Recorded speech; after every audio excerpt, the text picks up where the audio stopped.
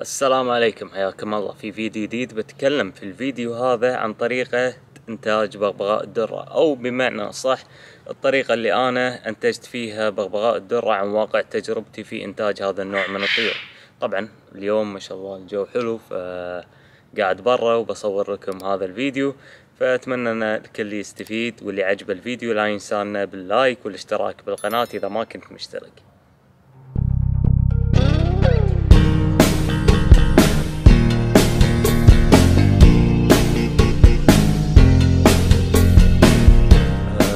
بالنسبة لإنتاج بغبغاء الدرة. في عندنا ثلاث شغلات أساسية لازم إحنا نحطها على بالنا قبل لا نبلش في إنتاج هذا النوع من الطيور. طبعا في البداية أنا آسف إذا كان في أصوات شوي لأني قاعد برا أصوات الحيوانات بس ماكو مشكلة. إن شاء الله يكون الصوت واضح. إذا مو واضح راح نضبطه في المونتاج. أوكي.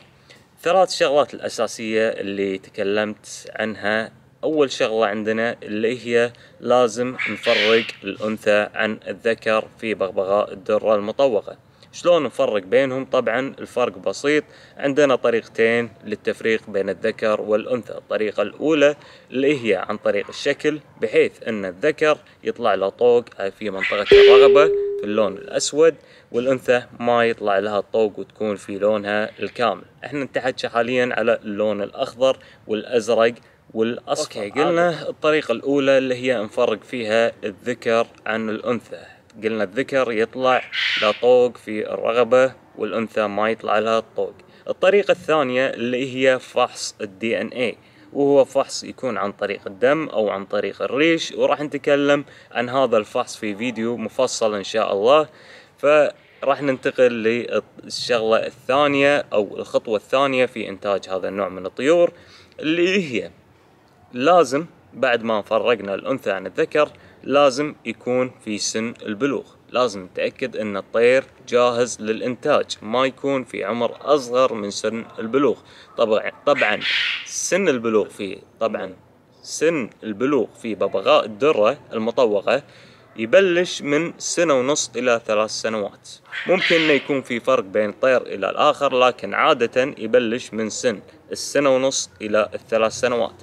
فكذي إحنا تأكدنا أن هذه الأنثى عندنا وهذا الذكر والأثنين بعمر فوق السنة ونص إحنا الحين نقدر ندخلهم على بعض لكن مع مراعاة إنه يكونون الطيور عارفة بعض. شلون تكون عارفة بعض؟ بحيث انه ما يكونون طيرين تركيبة جديدة طيرين جدد نحطهم مع بعض ممكن تصير بينهم مشاكل.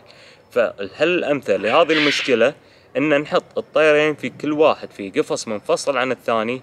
يشوفون بعض يكونون قراب يم بعض فترة معينة بعدها نقدر ندخلهم على بعض بطريقة سليمة.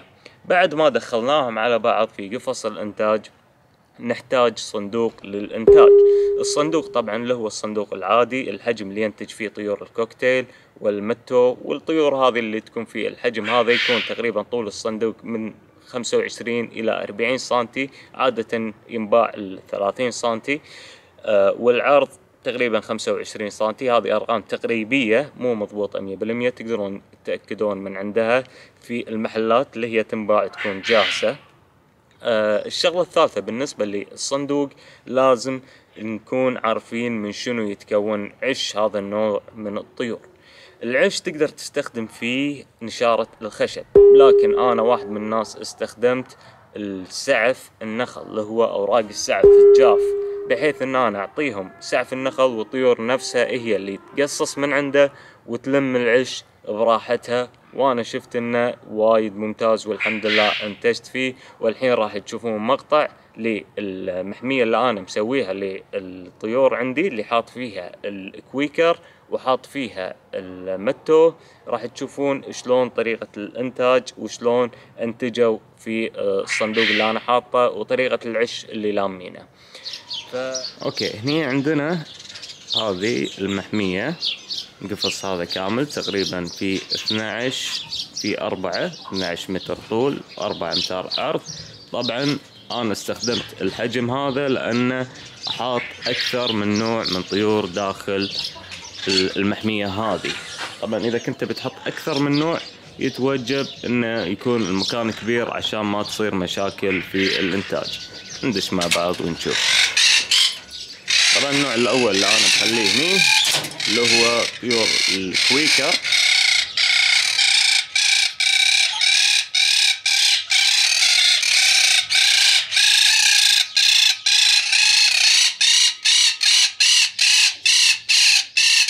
ومو هذا موضوعنا اليوم. الكويكر راح نسوي لهم حلقة بروح إن شاء الله. نبي نشوف المتشو أو الدرة. حاط هني الزوج اللي هو هناك. ذكر اللي ورا هذا الازرق هو الذكر والأنثى. هاي الأنثى.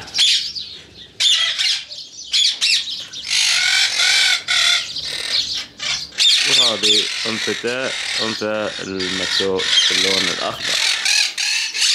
أوكي نبي نشوف الحين آه الخانات.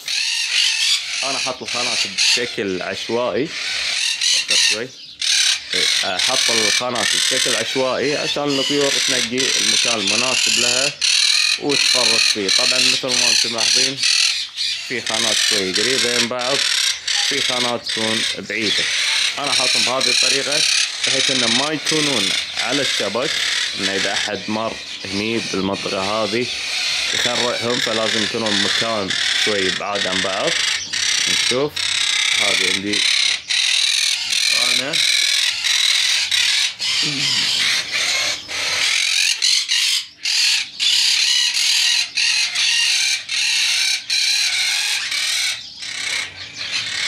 هذيلي حروف الميم حروف المكتوب